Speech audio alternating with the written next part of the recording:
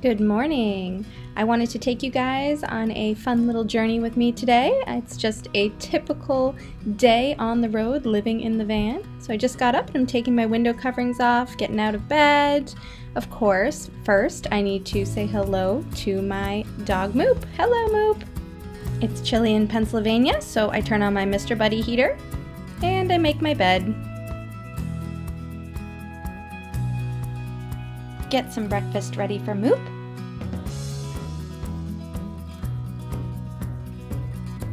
Brush my teeth, wash my face, normal morning things, get dressed for the day. Brush my hair while Moop looks out the window. Fold my clothes, clean up a bit, just try to put everything away because the van gets messy so easily, but it's also quick to clean up. Then it's time to go outside and play.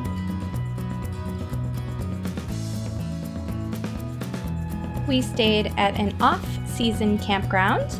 As you can tell, there's no one else here, which is really nice, and it's beautiful. Moop is certainly having fun. That's Jolene, my van. Then we get ready to go for a nice little walk.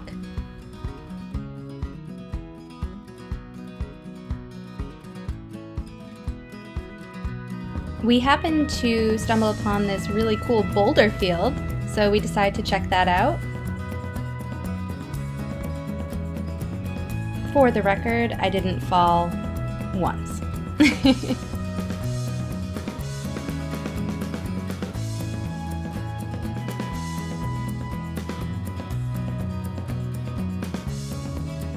Once we were done playing on the rocks, we headed back to the van Made a quick stop at the pit toilet on the way.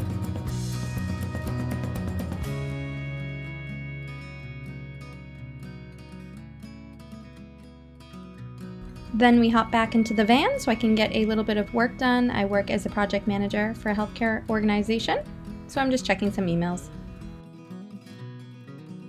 Then I'm hungry, so I make a turkey sandwich. I decide to hit the road and head towards North Carolina and off we go.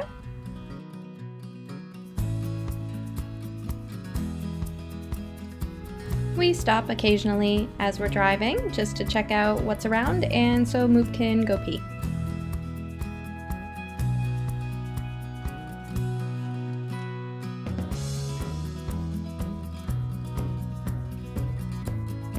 After a little bit of driving, we decide to stop at Shenandoah National Park. I've never been before, and I'm glad I went because it turns out to be absolutely beautiful.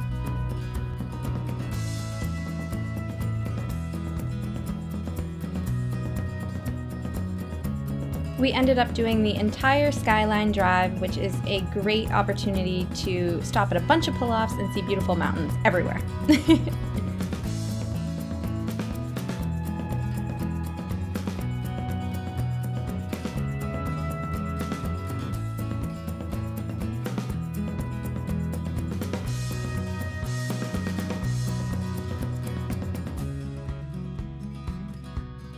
Then had a conversation with this artist who was painting this beautiful ridge line.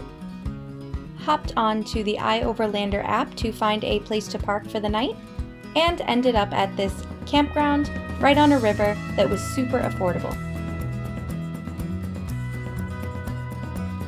After a little walk around the area, we head back to the van so I can grab some things to take a shower. It's possible this was the nicest shower I've ever seen at a campground. It's getting dark now, so I put my window coverings back on for some privacy. And Moop gets her dinner.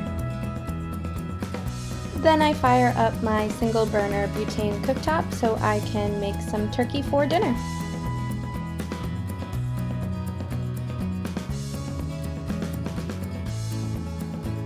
I turn on the fan for ventilation while I cook, and I put some music on.